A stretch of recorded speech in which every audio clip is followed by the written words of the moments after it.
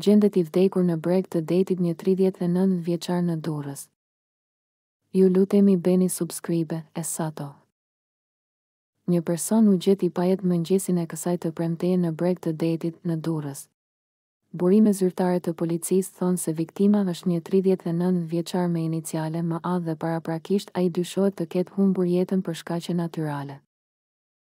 Në orët e para të mëngjesit të sotëm, në lagjen nr. trembëdhjetë, në breg të detit, është gjetur i pajetë shtetasi MA, tridhjetë e nëntë vjeç, banues në lagjen nr. pesëmbëdhjetë, Durrës.